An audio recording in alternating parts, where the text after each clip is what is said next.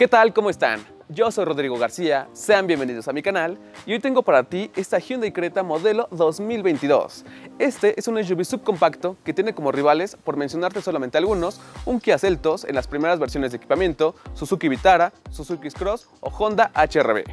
Vamos a ver qué tiene que ofrecernos porque es interesante por el espacio y por el equipamiento, aunque sacrifica la calidad y sobre todo la mecánica junto con los consumos de combustible. Pero todo esto te lo voy a decir en este video. Acompáñame.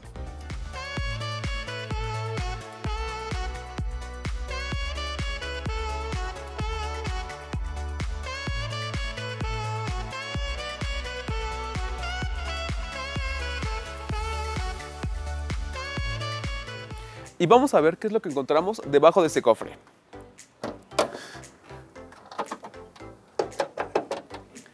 Esta Hyundai Creta se vende en México en dos diferentes configuraciones motrices. Las primeras tres versiones de equipamiento montan un motor que es nuevo, que es uno de 4 cilindros, 1.5 litros, que entrega 113 caballos de potencia y 106 libras-pie de torque.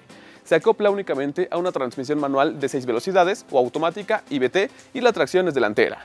La versión más equipada monta el que tenemos aquí, un motor de 4 cilindros, 1.4 litros turbo cargado que entrega 138 caballos de potencia y 178 libras-pie de torque, acoplado únicamente a una transmisión de doble embrague de 7 velocidades. En el apartado de la seguridad es un vehículo completo hasta este año 2022, ya que en todas las versiones de equipamiento tiene una estructura con buen comportamiento en pruebas de impactos y que es de nuevo desarrollo, 6 bolsas de aire, algo importante que los años pasados no contaba, además de los asistentes electrónicos más importantes como ABS y control electrónico de estabilidad, entre otros más. Y comenzando por el diseño exterior de esta Creta, sin duda alguna y por donde la veas, verás que es un vehículo asiático. Tiene un diseño que puede gustarte o también puedes odiarlo por las diferentes formas que encontramos. La parrilla es muy grande, está enmarcada por cromo y tiene este diseño tipo cascada que es característico de la marca. Hablando de los faros, estos se dividen en tres partes. En la parte media encontramos tres reflectores LED para altas y bajas, únicamente en las dos versiones de equipamiento superiores, ya que las primeras dos son con tecnología de proyección halógena. En la parte baja de la fascia vemos las luces rompeniebla con tecnología halógena y luces direccionales con focos convencionales. Y la luz diurna comienza en la parte superior y enmarca estos faros. En esta parte delantera no tenemos ningún asistente de estacionamiento y tanto luces como limpiadores son automáticos. Pero ahora vayamos al lateral. Por el lateral de esta Hyundai Creta tenemos un vehículo que mide 4.3 metros de largo, lo que ayuda en el espacio de la segunda fila de asientos y también de la cajuela. En esta versión encontramos un techo bitono, los espejos laterales no son abatibles eléctricamente, pero sí tienen luz direccional con focos LED. Las cuatro manijas están cromadas y las dos puertas delanteras tienen apertura por presencia, apretando el botón para abrir y de igual forma para cerrar. En el techo encontramos rines equipaje en plástico y plástico negro de uso rudo en la parte baja de las puertas. Y el diseño termina con rines en aluminio bitono de 17 pulgadas. Como datos técnicos tenemos freno de disco en las cuatro ruedas, suspensión delantera independiente tipo MacPherson y barra de torsión para el eje trasero.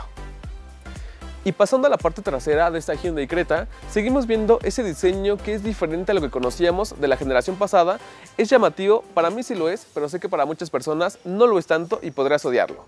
Seguimos encontrando unas calaveras que al igual que la parte frontal se dividen en tres partes. Es una combinación de focos LED para luz de noche y stops y focos convencionales tanto en direccionales como en reversas que las encontramos en la parte baja de la fascia. Tenemos un alerón en la parte superior, un limpiador para el medallón y una fascia bien trabajada en color negro junto con una salida de escape doble cromada. Hablando de los asistentes de estacionamiento, encontramos sensores traseros y una cámara con guías dinámicas. Pero vayamos a ver el espacio de almacenamiento. Esta Hyundai Creta es uno de los SUV subcompactos más grandes del segmento y se ve reflejado aquí y también en la segunda fila de asientos. Tenemos suficiente espacio para tres o cuatro maletas de buen tamaño y como equipamiento encontramos un cubre equipajes rígido, una luz con focos convencionales, diferentes huecos de almacenamiento, una red para que los objetos los aguacates, los jitomates o las cebollas no vayan rodando por toda la cajuela y debajo del suelo que es rígido, la llanta de refacción que es de tamaño completo aunque con renta cero y la herramienta para cambiar esta misma en caso de ponchadura.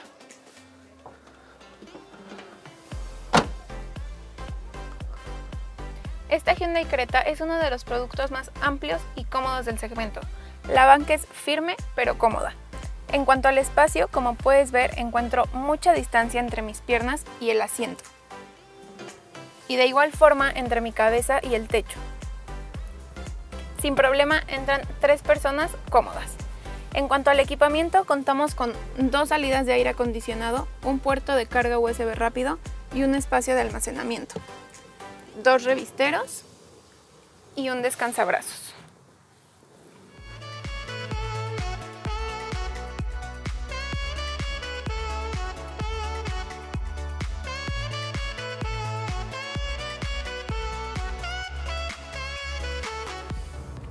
Y antes de terminar con este video, quiero invitarte a que me sigas en Instagram para que estés pendiente de los autos que estoy manejando y sobre todo toda la información que te voy a estar compartiendo. Me encuentras como Rod Enciso. Ahora sí, vayamos a ver qué tiene que ofrecernos esta Hyundai Creta modelo 2022. Es importante que sepas que para este año el modelo 2022 es un vehículo completo en la seguridad, salvo los vehículos dentro del segmento de los SUV subcompactos que ofrecen asistentes preventivos de accidentes. A diferencia de años pasados, donde el nivel de seguridad era incompleto en las primeras versiones, en este modelo 2022 ya tenemos de serie 6 bolsas de aire, frenos ABS y el tan importante control electrónico de estabilidad, entre otros asistentes más. En la seguridad está bien. Para entrar en contexto y poder entender qué tiene que ofrecernos esta Hyundai Creta y por qué los SUV subcompactos son tan vendidos, tenemos que saber qué es lo que busca el mexicano y por qué se venden tanto. Desafortunadamente en el país, y estoy seguro que en otras partes de Latinoamérica, los vehículos se venden principalmente por el equipamiento, por el espacio y hasta el diseño exterior antes que la seguridad y por ejemplo la mecánica. ¿Qué nos ofrece esta Creta? Es importante mencionar que este producto es uno de los más económicos hablando de la primera versión de equipamiento, ya que tiene un precio en agosto del 2021 de más o menos 367 mil pesos, por ese precio que encontramos en esa primera versión. Es un equipamiento básico, pero podría ser funcional e interesante para algunas personas al tener tecnología de iluminación halógena. No está bien, pero es lo que encontraremos en prácticamente todos los rivales por ese rango de precios y en esa primera versión. Al interior, una pantalla de 8 pulgadas que tiene compatibilidad con Android Auto y Apple CarPlay de forma alámbrica, con una buena calidad y una mejor interfaz que en años pasados. Aire acondicionado manual, algunos puertos de carga y de ahí en fuera no encontramos nada más destacable.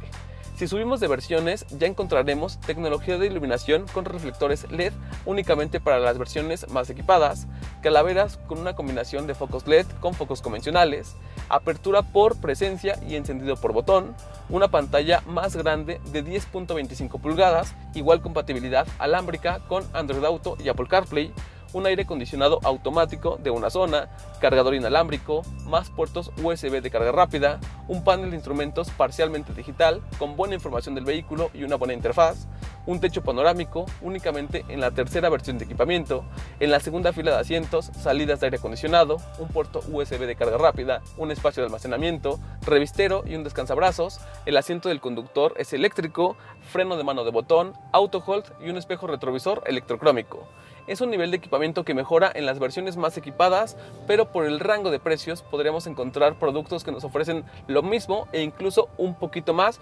únicamente en las versiones más equipadas. Otro apartado que se busca mucho en el mercado mexicano y en el segmento es el espacio interior. En México buscamos mucho espacio, aunque nos ocupe siempre la segunda fila de asientos o incluso la cajuela. Esta Hyundai Creta es uno de los productos más grandes del segmento. Tiene buen espacio en la segunda fila de asientos, como lo estás viendo con Eevee, tanto para piernas como para cabeza y principalmente en la cajuela.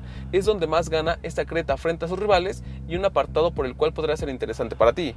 Junto con esto tienes allá atrás buena habitabilidad para los pasajeros ya que entran con facilidad tres personas al tener salidas de aire acondicionado, el puerto de carga, tres cabeceras ajustables y tres cinturones de seguridad de tres puntos junto con ese buen espacio y una banca que es firme pero cómoda. Entonces, con estos dos apartados, tanto el del equipamiento como el de la habitabilidad, que son de los que más se buscan en México, esta Hyundai Creta cumple bien. Otro factor importante en los vehículos generalistas, y estoy seguro que tú lo has considerado, es el de los consumos de combustible. Y aquí esta Hyundai Creta no tiene nada que destacar porque a pesar de que el motor en las primeras tres versiones de equipamiento es nuevo, es uno de 4 cilindros, 1.5 litros, con 113 caballos de potencia, 106 libras-pie de torque, se acopla a una transmisión manual de 6 velocidades o automática IBT, no tiene el mejor desempeño y tampoco los mejores consumos de combustible. Aunque del que te puedo hablar a detalle es el que estuve probando, que es el de la versión más equipada, uno de 4 cilindros, 1.4 litros turbo cargado, con 138 caballos de potencia y 172 libras-pie de torque. ¿Qué nos ofrece esta mecánica? Realmente yo me esperaba más porque esta es una nueva generación que se presentó hace unos años y el manejo no se siente tan optimizado como podríamos esperarlo y fácilmente superado por otros rivales dentro del segmento como una Suzuki Vitara o Honda HRB, solamente por mencionar dos productos. La lista podría ser incluso más alta. ¿A qué me refiero? Con esta mecánica tenemos una entrega de potencia que no es mala, pero la transmisión no tiene el mejor desarrollo. Es una transmisión que a pesar de ser de doble embrague, no es tan rápida como podríamos esperarlo y también encontramos un turbolag marcado junto con un sonido del motor que se mete mucho en la cabina siempre que la estamos acelerando. Aquí voy a acelerarlo un poquito para ver si lo puedes escuchar. Y tarda un poquito en tener esa reacción que quisiera para rebases, incorporaciones y sobre todo carretera. No es el principal enfoque de estos SUV subcompactos que es la ciudad, pero eventualmente podría salir. Hablando de la suspensión, esta es cómoda, absorbe bien las imperfecciones del camino, pero la dirección la siento un poco asistida, un poco falsa y en algunas situaciones llegas a sentir como que la anchea la camioneta puede ser por la longitud, por la altitud y porque nuevamente es uno de los productos más grandes, pero no transmite las mejores sensaciones. No es que sea un producto inseguro, no lo es y no te sientes así, pero tampoco se siente un vehículo preciso. Sientes una dirección que tarda un poquito en ir hacia donde tú quieres. Hay vehículos más ágiles, más precisos, sí, como Peugeot 2008 en la primera versión de equipamiento que más o menos ronda este rango de precios, incluso Suzuki Vitara o nuevamente una Honda HRB. Hablando de los consumos de combustible, con esta mecánica a mí me estuvo dando 10.5 kilómetros por litro. No son los mejores consumos de combustible para nada, está en la parte media, media baja del segmento, si la comparamos contra otros que pueden dar incluso 14 kilómetros por litro. La mecánica es un apartado en el cual creo que le pondré un asterisco que entiendo que con esto logran tener precios competitivos junto con una buena seguridad, un buen equipamiento y el diseño exterior, pero aún así la tenemos que mencionar. Y hablando de los demás apartados que ya no son tan importantes para el mexicano, pero hay que mencionarlos, la calidad. En la calidad encontramos una selección de plásticos rígidos más suaves donde descansamos el brazo, algunos insertos en esta versión de equipamiento en color rojo que le dan un diseño más atractivo, en la segunda fila de asientos la misma selección de materiales, la piel sintética de las diferentes versiones de equipamiento se percibe de buena calidad, se percibe que va a envejecer bien con el paso del tiempo y el nivel de armado también se siente mejor respecto a la generación pasada. Tampoco estamos en la mejor calidad del segmento, que nuevamente lo podremos encontrar en Peugeot 2008 o incluso en Honda HRB, pero sí se nota un paso adelante respecto a la generación anterior y que va a ser un vehículo que podría envejecer bien, depende de tu cuidado. Y una vez que ya conocimos qué tiene que ofrecernos esta Hyundai Creta en los diferentes apartados que evaluamos y sobre todo cómo se posiciona frente a sus rivales, es una opción considerable a compra, sí, aunque principalmente en la primera y segunda versión de equipamiento por la relación costo-beneficio. En estas dos primeras versiones de equipamiento es interesante justamente por el precio, por la habitabilidad que nos ofrece, que nuevamente lo digo, es uno de los productos más grandes, el nivel de seguridad que es completo, un buen nivel de equipamiento, aunque dejas de lado la calidad, el manejo y principalmente los consumos de combustible, apartados que quizá para ti son muy importantes, pero que puedes volver a ver otros productos dentro del mercado mexicano. Las versiones más equipadas no tienen esa buena relación costo-beneficio porque a pesar de que la versión que estuve probando tiene un motor turbocargado que podrá ser interesante para algunas personas, no tiene el mejor desempeño y podríamos encontrarle apartados de equipamiento de calidad por el rango de precios que encontrarás en otros vehículos dentro del mercado mexicano y dentro del segmento. Así que déjame en los comentarios tú qué piensas, quiero conocer tu opinión. ¿Qué piensas de esta Hyundai Creta, de su nueva generación y en qué versión de equipamiento tú te la comprarías? Y no olvides que nos vemos muy pronto.